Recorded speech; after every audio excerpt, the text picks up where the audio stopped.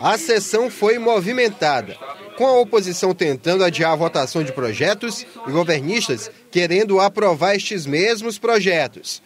A pauta nunca esteve tão cheia neste ano. Foram mais de 10 projetos colocados em votação. Boa parte deles dependia de pareceres das comissões competentes. Para isso, a sessão teve que ser suspensa.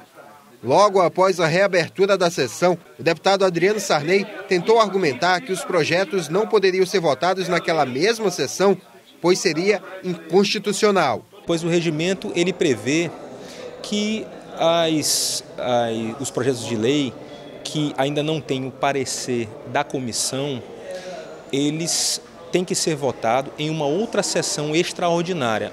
Mas, de acordo com o deputado Eduardo Braide, não há nenhuma ilegalidade.